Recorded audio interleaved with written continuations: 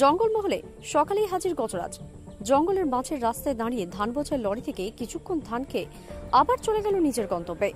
বাঁকুড়ার সারেঙ্গা থেকে চন্দ্রকোনা রোড যাওয়ার রাস্তায় বাঁকুড়া মেদিনীপুর সীমানা এলাকার কারভাঙ্গা লাগোয়া এলাকায় হাজির হয় গজরাজ। তা দেখতে সকলেই ভিড় জমালেন এলাকাবাসী।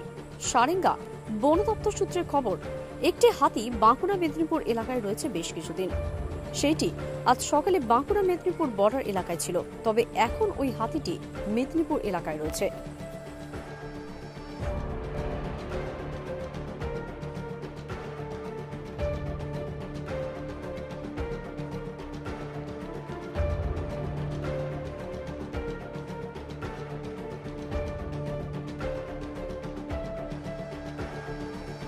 আপনি কি নতুন বাড়ি বানাতে চান? আপনার বাড়িতে মার্বেল ও টাইলসের কাজ করাতে চান? তাহলে আর চিন্তা কিসের?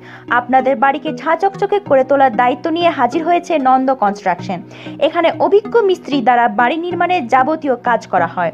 এছাড়া ইট, বালি ও পাথরের সাপ্লাই নিতে হলেও এক্ষুনি যোগাযোগ করুন নন্দ কনস্ট্রাকশনে। আমাদের ঠিকানা রঘুনাথপুর ভোঁদুর মোড়, হিলা কালী মন্দিরের সামনে। আমাদের সম্পর্ক phone number six two nine five nine nine seven one five four এবং seven nine zero eight three three three nine zero one.